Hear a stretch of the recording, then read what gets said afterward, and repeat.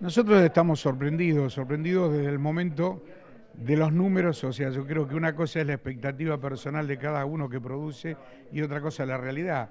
Este remate en noviembre, el día miércoles pasado Congreso, tenemos un remate que calculábamos entre 6, 7, 8 mil cabezas, ya estamos superando las 10 mil.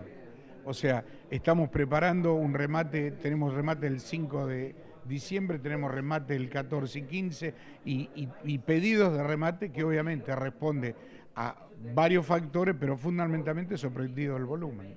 El volumen está mostrando a productores con ansiedad de vender. Yo creo que sí, yo creo que hay mucho miedo con el tema sequías.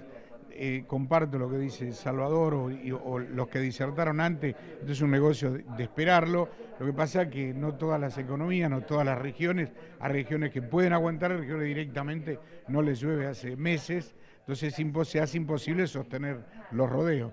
Creo que eso va, a jugar en contra de la posibilidad de poder aguantar, como predicen algunos eh, economistas, de esperar para adelante. ¿no? ¿Y en los precios cómo lo está viendo? Bueno, va de la mano. O sea, estamos abriendo, o sea, a nivel, a nivel local yo creo que estamos vendiendo los mismos valores de marzo. O sea, prácticamente no estamos comiendo la inflación. Yo soy criador y cuando hago los números, o sea, y tenemos la otra contrapartida que es la disparada de costo. Entonces tenés inflación y costo, cuando haces el número es un número. Pero no queda otra, hay que seguir adelante, la ganadería es, es algo lento.